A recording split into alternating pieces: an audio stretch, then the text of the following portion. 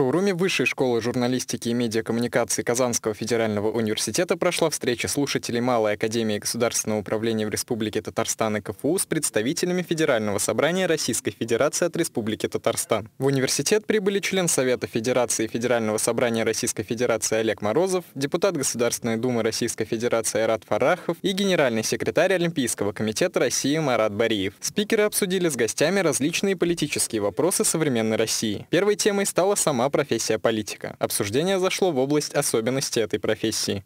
Публичный человек, он вообще не имеет права на, практически не имеет права на э, публичную ошибку. Очень трудно ее потом исправлять, эту ошибку.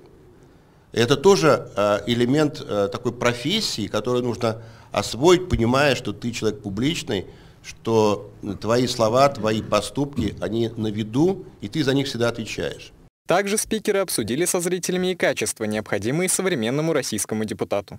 Мы представляем нашу республику, мы избраны жителями республики Татарстан, и мы, безусловно, должны отражать интересы жителей республики Татарстан в парламенте Российской Федерации.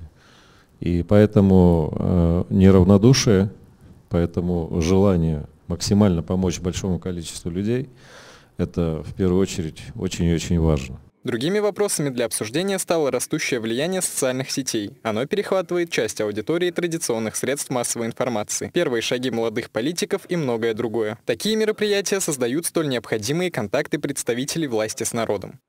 Артем Тупичкин, Леонардо Влетяров, UniverNews.